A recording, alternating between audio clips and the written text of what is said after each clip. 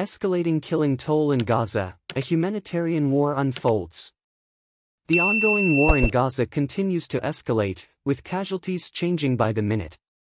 It is crucial to stay informed, but it is equally important to rely on reliable and up-to-date sources for accurate information. The situation in Gaza has become a humanitarian crisis, with devastating impacts on children and families. The exact killing toll for a specific day of the search is not immediately available. However, according to recent sources that confirm the killing toll exceeded 5,000 as of Monday, October 24, it is clear that the situation is growing increasingly dire. The staggering statistic is that almost half of the casualties are children. The dynamic nature of the situation in Gaza means that the picture is constantly evolving. There is a need for real-time updates from trusted sources to stay informed.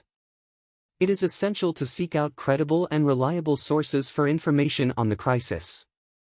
The impact of the escalating killing toll in Gaza is devastating. Families have been torn apart and children have lost their lives.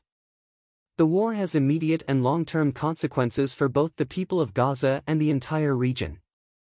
The ongoing war threatens the stability and security of the region, creating tragic ripple effects that may last for years. According to a recent UN article, the situation in Gaza is dire, with a shocking number of people in need of urgent humanitarian assistance. Efforts are underway to address the immediate needs of affected families. Still, the scale of the war demands sustained attention and support from the international community. In conclusion, it is vital to remain vigilant in our efforts to stay informed about the escalating war in Gaza. We must rely on credible sources for accurate information and actively engage in supporting humanitarian efforts in Gaza.